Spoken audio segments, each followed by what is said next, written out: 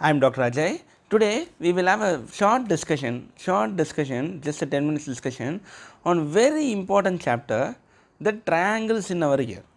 Okay, the triangles in our ear. In this chapter, we are going to discuss about two important triangles.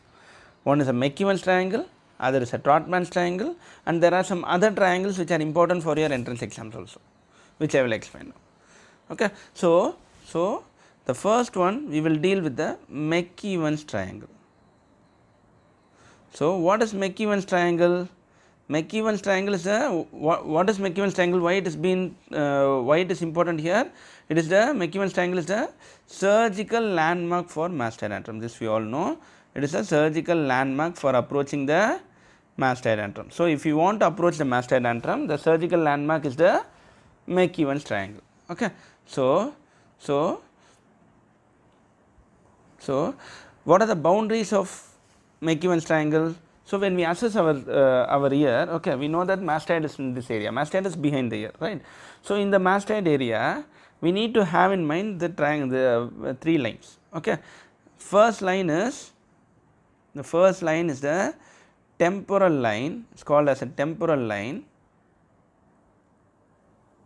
otherwise called as a suprameatal line, whatever, okay temporal line or the suprameatal line where the temporalis muscles will come and get attached. Okay. So, if the temporalis muscles are like this, they are coming and getting attached like this. Okay. So, this line is called as a temporal line. So, where is the temporal line? So, this is a, we know that this is the zygomatic arch, right. This is a zygomatic arch. When the uh, this is an say this will be the zygomatic arch here, the line which extends beyond the zygomatic arch. Okay. Just draw a line, just draw a line extending beyond the zygomatic arch. This is the temporal line okay when you feel like this this is the temporal line. Temporal line is the superior boundary superior boundary okay? So when the it is an extension from the zygomatic arch okay? And the line drawn just as an extension from zygomatic arch where the temporalis muscles will temporalis muscle will be here right? They will come and get attached that is called as the temporal line or the suprameatal line okay? That is mark this as a a okay? And the second line is the say one minute i will just change it so, assume this as a external auditory canal, assume this as a external auditory canal, we know that this is the external auditory canal, right. When we cut and throw the pinna off, okay, when we pull the pinna front, we know that this will be the external auditory canal, right, this will be the anterior wall, this will be the posterior wall. Okay. So, second line, okay, what we are going to do is, we are going to draw a line along the posterior, posterior um, boundary of the external auditory canal. So, along the posterior boundary of the external auditory canal, draw a line okay, draw a line this is the external auditory canal, this is the anterior, this is posterior. So, draw a line along the posterior boundary of the external auditory canal. Okay. And the third line mark this as B. Okay. And the third line is nothing but the third line mark a tangential line connecting these two lines. Okay. Mark a line which is tangential connecting these two lines that is C. Okay. So, if we drill in this area if we are going to drill in this area, we are going to approach the triangle that is that is McEwen's triangle clear A, B and C. Okay. So, line A is the temporal line which is an extension from the zygomatic arch. This will be zygomatic arch. Okay, now there is no pinna. This will be an extension from zygomatic arch. So, this line we can feel for it. We can feel for it the line in the line just as extension from the zygomatic arch is a temporal line where the temporalis muscles will come and get attached. Okay, the second line is this part the posterior posterior posterior boundary of the external auditory canal bony external auditory canal. The external auditory canal not the cartilaginous part. The cartilaginous part is here outside. The posterior boundary of the bony external auditory canal. Okay and the third line is a tangential line connecting these two lines. Tangential line connecting these two lines third line okay. So, this is called as McEwen's triangle. Never forget this. Very very important questions for your pre-final exam. Without knowing this we can't appear in the exams. Okay? And a very important question even your entrance exams. Entrance exams the, they have asked all of the following will, will contribute to McEwen's triangle except. Okay? All of the following are parts of McEwen's triangle except okay so this is how they are going to ask in the question ask in a uh, exams okay so and what is it what is it it is a it is a surgical landmark for mastoid antrum. It is a surgical landmark for mastoid antrum. So, when we are just drilling in this area, when we just drill in this area, we, uh, we the mastoid antrum will open at one point. So, that is the importance of McEwen's triangle. Usually, the mastoid antrum will be lying at a depth of around 1.5 centimeter from this so from the boundary. Okay. So, this is McEwen's triangle fine.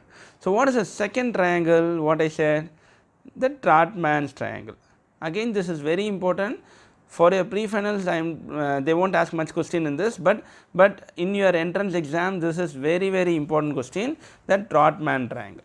So, what happens in a Trautmann triangle what is Trautmann triangle? Trautmann triangle is nothing but it is the posterior approach to the to the posterior cranial fossa. So, what happens is say I am drawing a picture of the post cortical mastoidectomy cavity. Okay, this is middle ear. Okay, this is a mastoid cavity. Assume this as a mastoid cavity. Okay, so now we have drilled over that. Uh, we have we have done a cortical mastoidectomy. Already we have done a cortical mastoidectomy. So, while doing a cortical mastoidectomy, what is our role? We want to approach the mastoid antrum. So, we know we have approached the mastoid antrum here. So, this is the mastoid antrum okay? And uh, just above the this and all we will discuss in the above uh, after chapters also. So the anatomical landmark just above the mastoid antrum we know that there will be a semicircular canal. That is a lateral semicircular canal. Okay? And we know that how many semicircular canals are there? We have three semicircular canals. Superior okay? There will be a superior semicircular canal. There will be a lateral semicircular canal. There will be a posterior semicircular canal.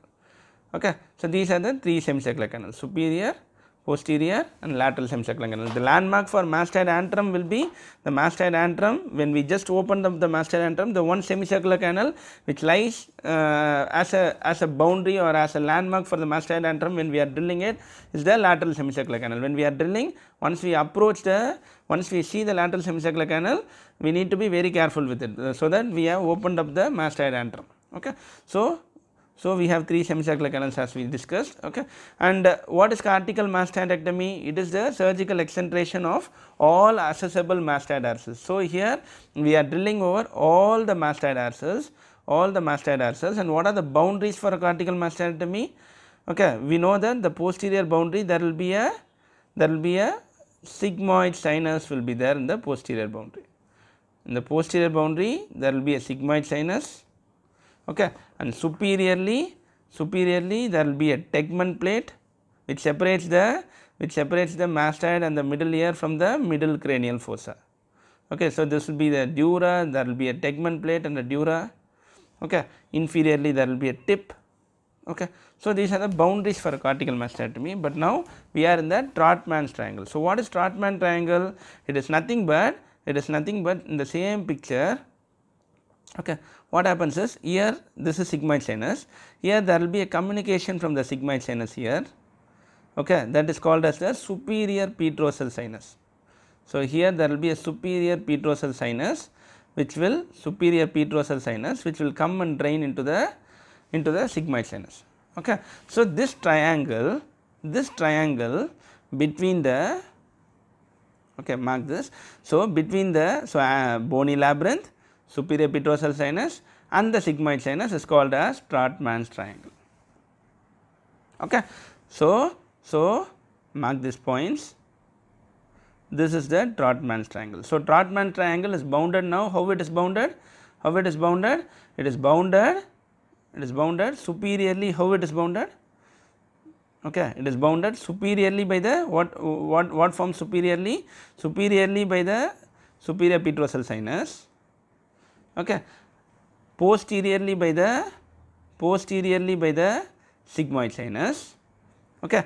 Anteriorly by the anteriorly by the bony labyrinth.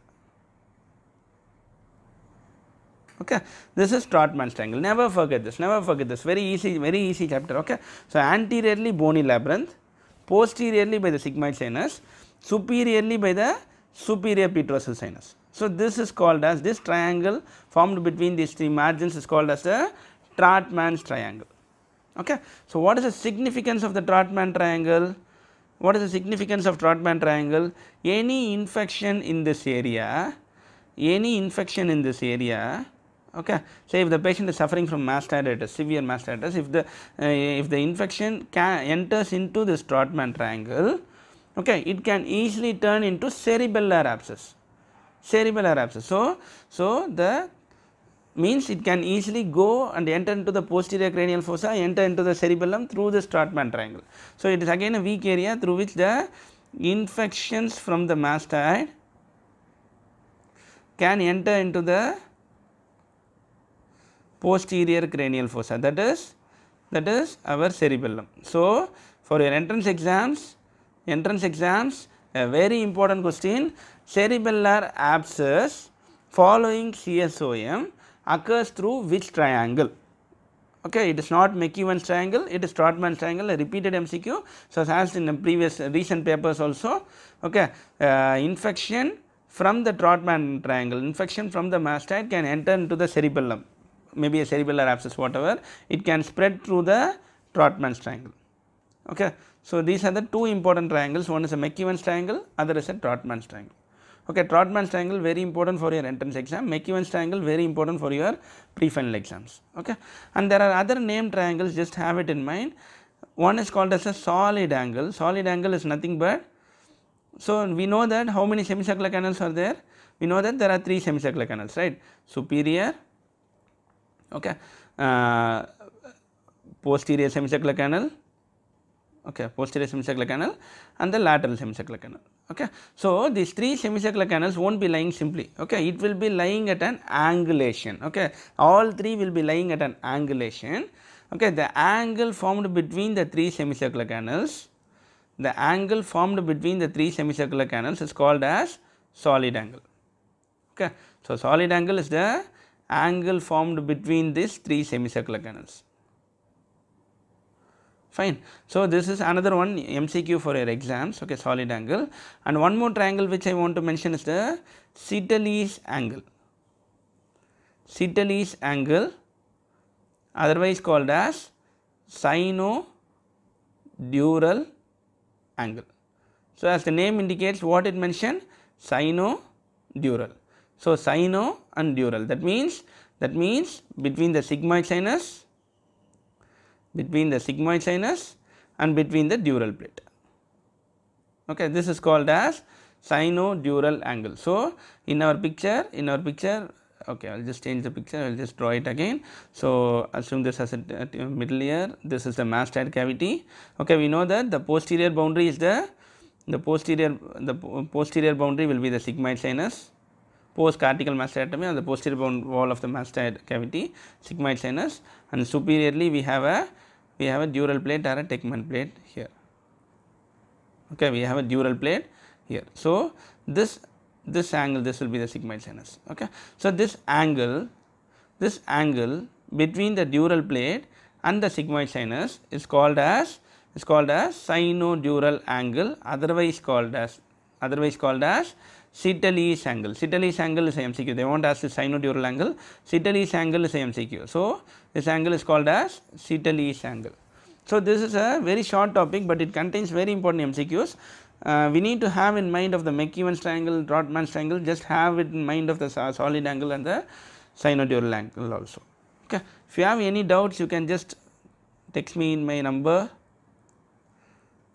WhatsApp me in my number or you can join my if you are a pre-final student or a NEET PG aspirant you can join my ENT page okay Dr. Uh, Dr. Ajay is exploring ENT in telegram and Facebook okay and you can join my ENT app which is exclusively dedicated for pre-finals and NEET aspirants Dr. Ajay's ENT I will give you the link, uh, link below okay Dr. Ajay's ENT you can join our group here we have a masterclass series for the pre-finals and for uh, NEET PG aspirants uh, we have a image based session which is exclusively dedicated for the NEET exams. Thank you.